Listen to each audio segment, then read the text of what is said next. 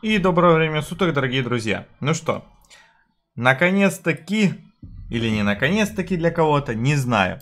В любом случае, я выучил все, что есть у меня на коня, все, что было по возможности изучить, кроме тех э, скиллов, которые требуют либо маг-таблички, либо требуют книжки. Э, итоговые статы у меня вот такие. Вы сейчас видите на экране.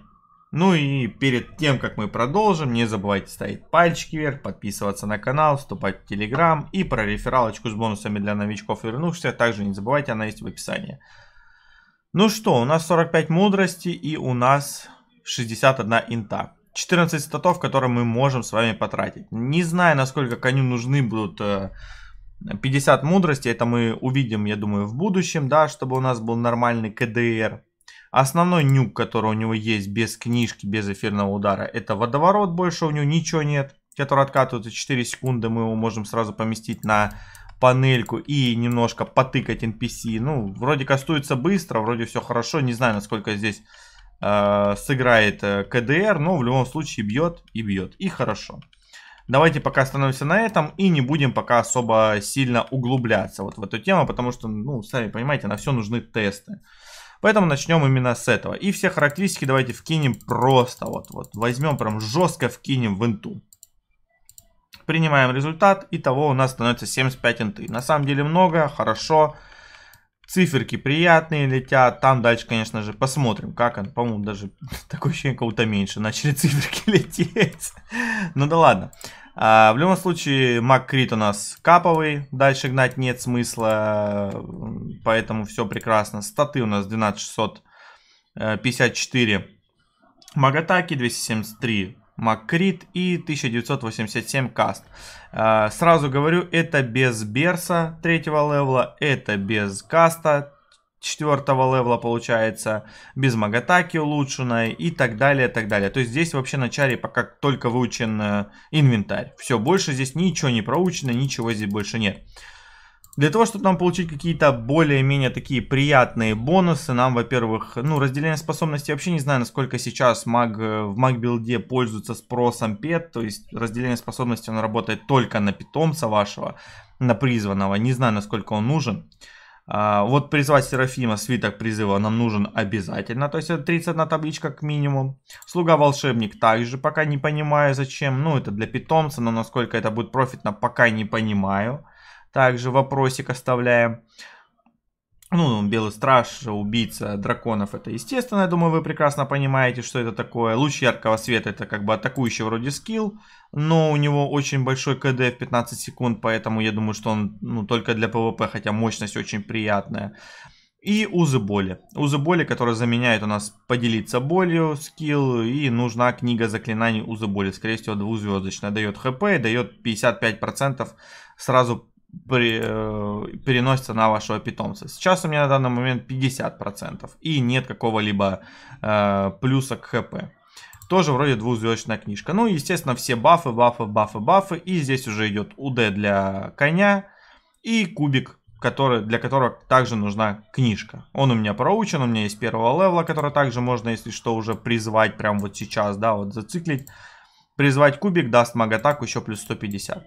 В общем, давайте сейчас проучим Магнуса, потому что... Или не Магнуса, как там этот питомец называется. Как он там? Серафим.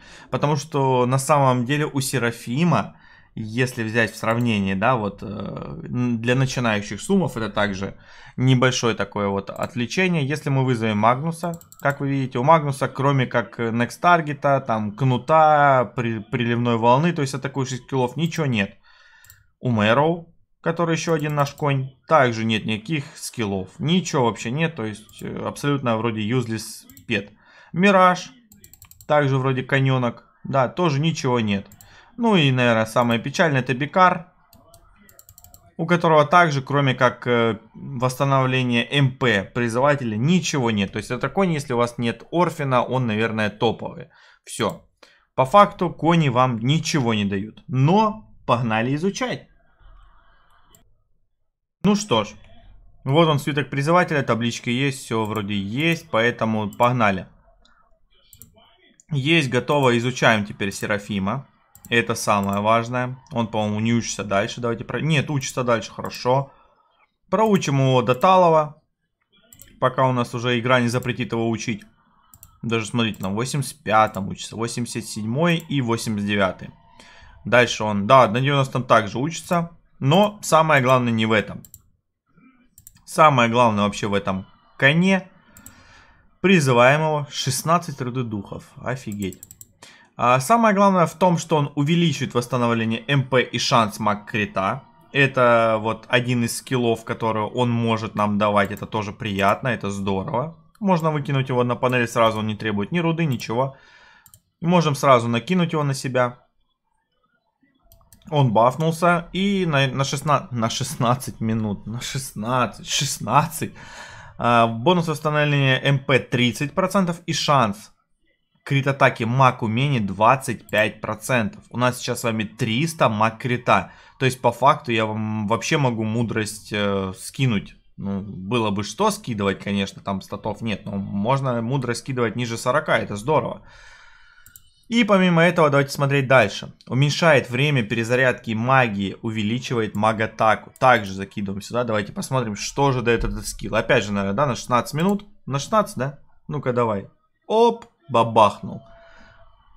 А, на 16 минут время перезарядки маг умений минус 10%, маг атака плюс 30%. Это вообще, ну, 15 тысяч маг атаки уже мы имеем. Это просто что-то невероятное.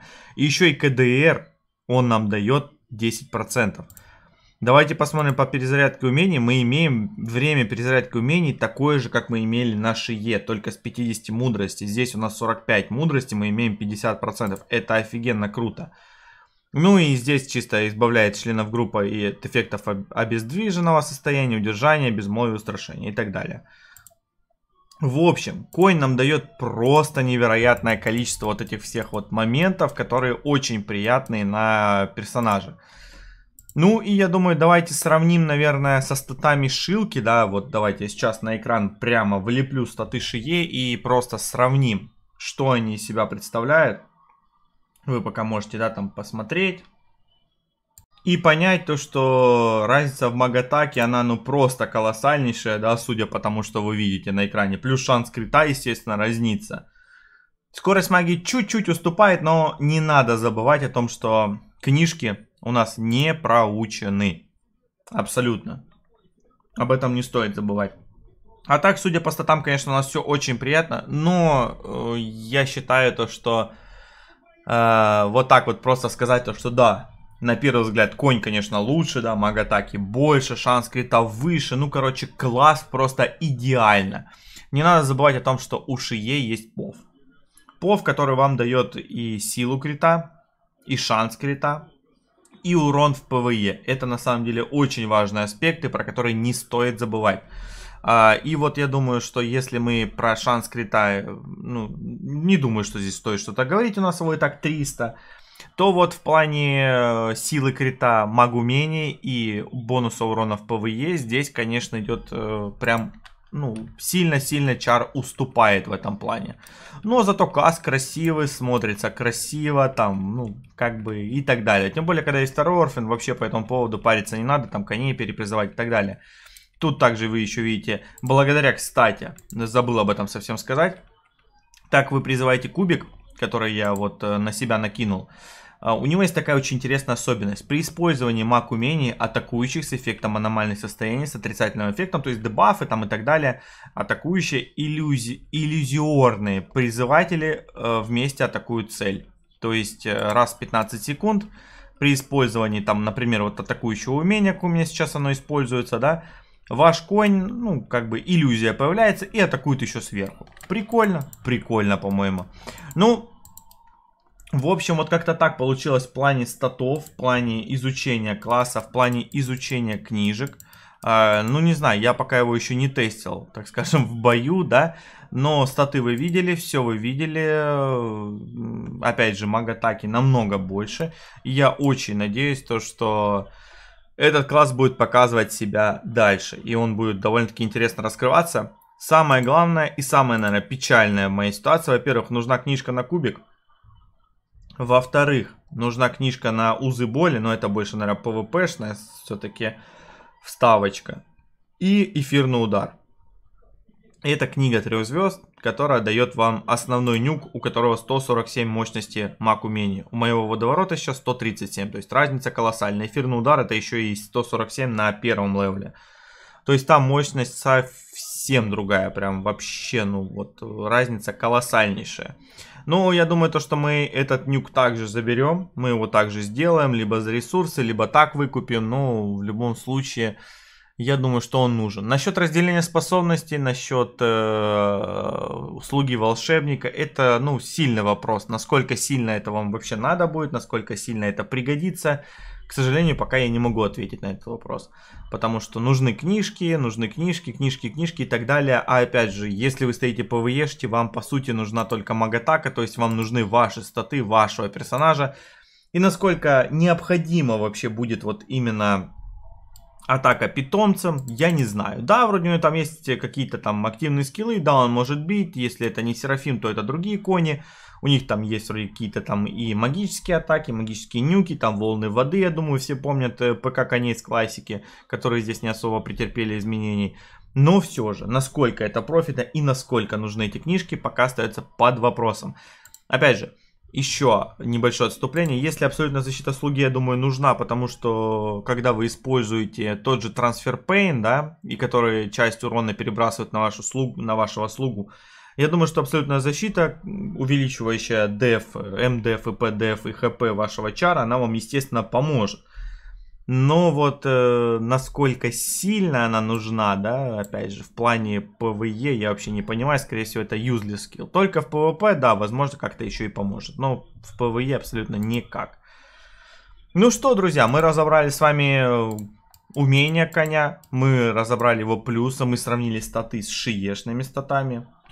Я думаю, на этом пока хватит в этой серии. Остановимся. Ну, смотрите, ну, выглядит же красиво, ну, согласитесь. И держит э, Белефа очень красиво эльфийка. Ну, классно. Короче, я пока в восторге, знаете, в таком вот... Э, при исполнении духа, что ли. Ну, короче, мне пока все нравится, я надеюсь, что и вам также нравится. Будем раскрывать этого коня, будем смотреть на него, что вообще это из себя представляет, что вообще такое сумманер версии L2, это аутсайдеры или все-таки имеют право на жизнь. Ну, не забывайте поддерживать ролики пальчиками вверх. Не забывайте подписываться на канал, вступать в телеграм-группу для дополнительного участия в розыгрыше на монетке. И также не забывайте про рефералку с бонусами, которая есть в описании. Ведь переходя по ней, вы получите куб помощи партнера, который облегчит вашу прокачку. А с вами был Душа Молодой. Всем хорошего, доброго, светлого, нефильтрованного или темного, кто пожелает. Удачи вам и самое главное, не болейте.